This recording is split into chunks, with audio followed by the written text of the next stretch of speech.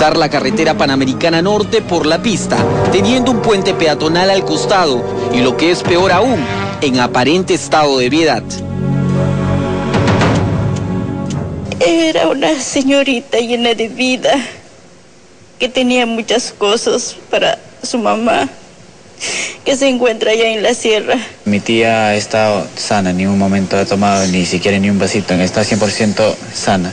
No juegas con las mujeres, no lastimas. Convertirse en la voz maravillosa de Conchucos no fue nada fácil para Olga Benítez, quien soñaba ser una cantante reconocida. Ella era admiradora de la desaparecida Alicia Delgado. Lastimas a quien amas. Mi tía de- desde niña le ha, le ha gustado este, el- este tipo de lo que es de arte. Desde niña estaba practicando, pero llegó a grabar hace aproximadamente dos años.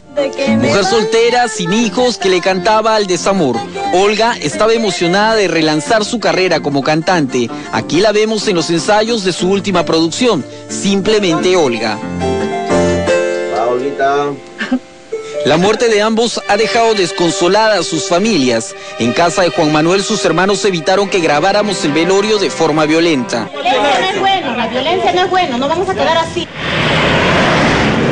Los constantes accidentes en la zona parecen no haber despertado la conciencia de las personas quienes en lugar de usar los puentes lo hacen cruzando por la pista.